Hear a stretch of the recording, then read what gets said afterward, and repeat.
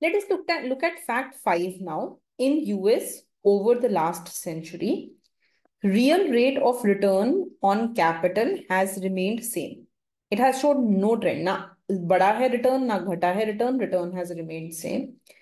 The share of income devoted to capital and labor has shown no trend. मतलब जितना GDP का share labour को था और जितना कैपिटल को था it has remained the same Average growth rate of output per person has been positive and relatively constant over time. So growth rate of output bada to hai, but it has been almost constant. It has been growing at the same rate. Let's look at the reason for trend number one. So Kaldor, he noted that the real rate of return was roughly constant. Unhone kaise note down kiya? Unhone ये dekha ki return on capital जो हमारा small are होता है it is very closely related to the real interest rate that the government gives है ना? अगर आप किसी गवर्नमेंट बॉन्ड में इन्वेस्ट कर दो या अगर गवर्नमेंट डेट ले तो जो गवर्नमेंट रियल इंटरेस्ट रेट रखती है, उससे बहुत closely related is the real return on capital and this has remained constant over time in US, the real interest rate on government debt, it has shown no trend at all. It has remained constant over time. Therefore, we can go ahead and say that this also has remained constant. However, what, so you will feel, ma'am, no, we always keep seeing that the interest rate fluctuates.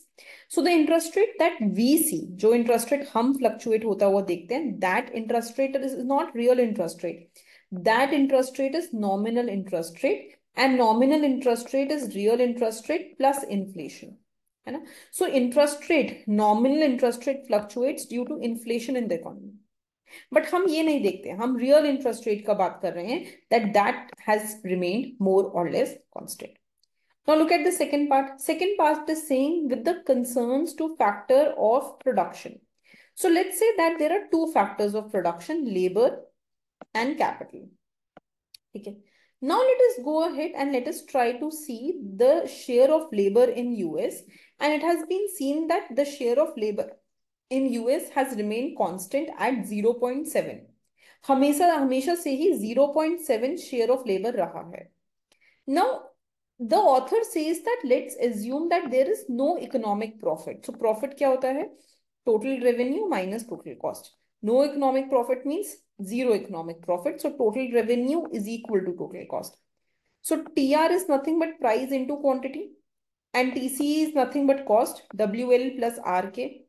price into quantity ko humne gdp ya output likh liya hai so y is equal to wl plus rk and we have divided throughout by y hai na to humne yahan pe aa jayega 1 wl by y plus rk by y so now ये हमें given है that this is 0.7 the share of labor in output is constant at 0.7 so if i just plug in the value i will get 1 is equal to 0.7 plus rk by y so this will give me rk by y will be 0.3 it shows that the share of uh, rent to output has also remained constant the third trend says that the third kya tha, that the average per capita income has increased at a constant rate.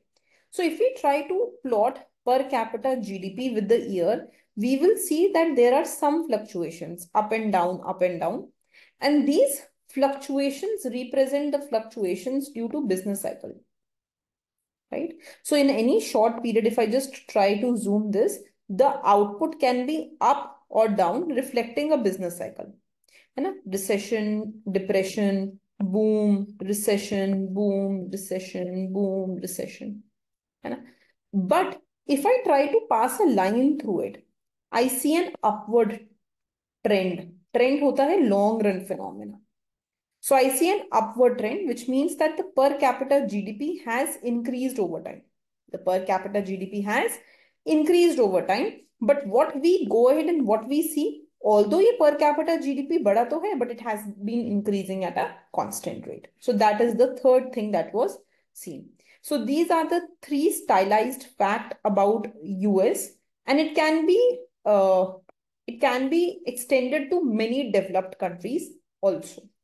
Okay,